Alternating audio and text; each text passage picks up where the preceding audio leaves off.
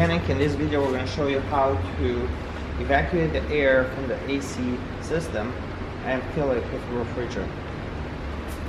So if you have a system that's completely empty, the first thing you need to do is you need to remove the air from the system and then you'll uh, put in refrigerant. When you uh, add refrigerant, uh, you look in the engine compartment, usually over here or sometimes right below the hood, you'll have a sticker that shows you how much refrigerant your vehicle takes and what type.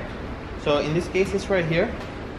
Okay, so you can see here it takes R134A type of refrigerant, and then right here you can see how much um, it takes.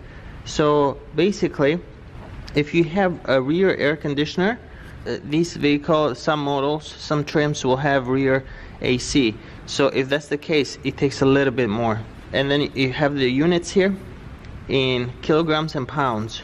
So if you don't have rear AC, you, it takes about 2.36 pounds and then plus minus 0.02 um, pounds, right? So, or in kilograms is right below that, 1.07 kilograms. So that's without rear AC. Now, if you got rear AC, it's going to be a little bit more. It's 2.6 uh, pounds and then plus minus 0.02. You take your refrigerant and you look at the bottom, you have the weight right there. So right here is uh, 18 ounces or 510 grams. So this one takes 1.07 kilograms. So basically two of these um, would make uh, 1.1 kilogram, you know, if, if you have no rear AC. So basically it would be just um, almost two of these. So you'd have tiny bit left in one of these containers.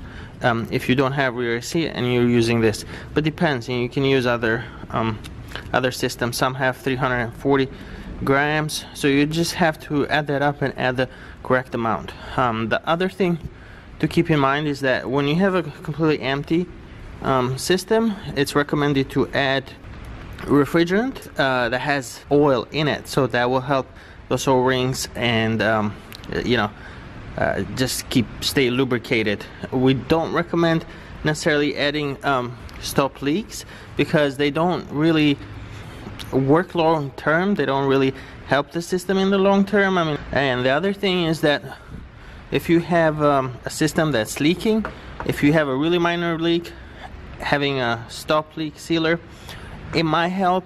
Um, we don't really recommend that or prefer it because it's better to just find where that leak is and repair it. Because when you add something that has a leak sealer, it can have other side effects, and in the long term, it's not gonna permanently fix that problem. It might buy you a little bit of time, but it's not going to fix that issue. Wherever you have that leak, it's eventually gonna start getting worse and worse. So let's get started and let's remove the air from the um, AC system. So you need a vacuum pump. And you also need gauges for high and low side. Make sure those gauges are tight. we hook up the gauges up here. And the first thing we're gonna do is going to connect this right here.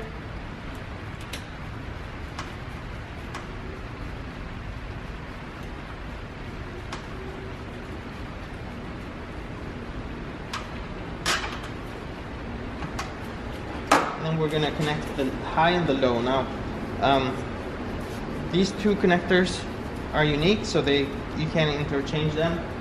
The low pressure port is the one that's a little bit thicker, and the high pressure port in this vehicle is actually right here. The tubes, the pipes on that are a little bit thinner, and that's the the high pressure line. When you connect these connectors, don't you got pipes that screw in don't screw them too tight, otherwise you can uh, damage this connector. Same thing with the caps. Where you put these caps back in, don't over tighten them because you can't damage that and then you're gonna uh, lose refrigerant.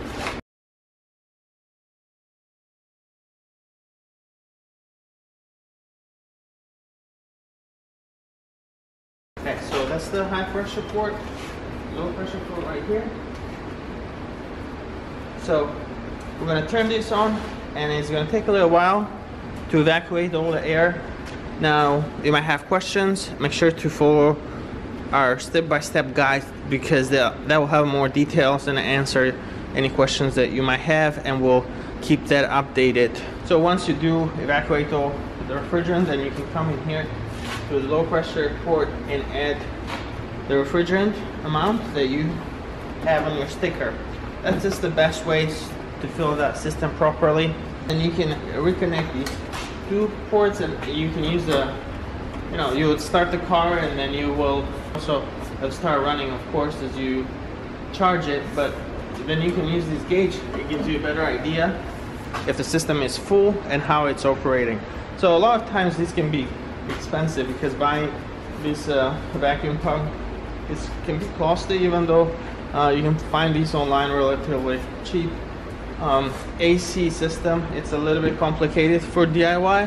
Um, if you're just trying to charge the system, it might be better just to leave it to, up to a professional, have them charge it, because by the time you buy all the refrigerants, vacuum pump and everything, it's going to cost you as much, if not more, than having a professional just recharge it. Um, but if you want to do it yourself, this is a, a starting guide. Make sure to wear gloves, protective glasses as you work in the refrigerant. And also, if you're working with this system, you got to stay safe. You want to make sure that you don't release any refrigerant into the atmosphere, in the air. That's it. Thank you for watching.